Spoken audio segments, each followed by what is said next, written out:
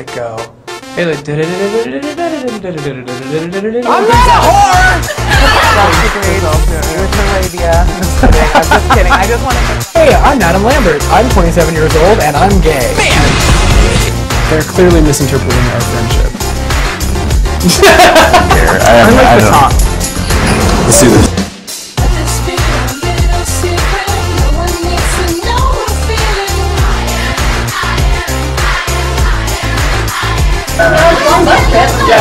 That ring